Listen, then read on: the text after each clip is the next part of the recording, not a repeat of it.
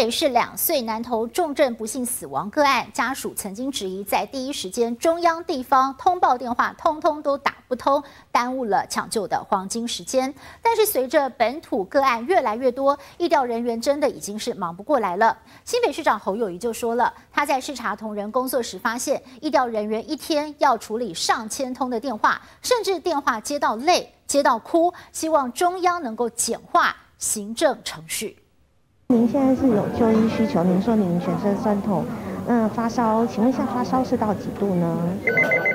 一通电话才刚打完，另一通又响起。医调人员每天就在这通话地狱中，尤其新北二十号本土确诊飙升到八百二十二例。新北市长侯友谊预言，疫情海啸很快就会达到高峰，未来个案只增不减，仅仅三四十位人员，一天要处理近千例个案，电话打到手软，前线同仁的辛苦有谁知？我的板桥区一天，我现在居家隔离就两千八。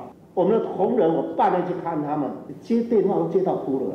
打电话都打到累。中和两岁童重症病逝，家属抱怨疫调居隔通知太慢。面对铺天盖地而来的批评，侯友谊为同仁抱屈，喊话中央简化程序，繁琐的转接过程都拿掉，把决策权下放地方。但中央对权责分配似乎也搞不清楚。隔离现在本来就地方在办啊，有什么地方经过隔离要经过中央的审查没有啊？需要地方把那个资料做对，那我们才有办法很快的把这个居隔单把它送出去。居隔单是我们送出去的，不是把你讲对还是错？就是需要地方跟中央一起来完成。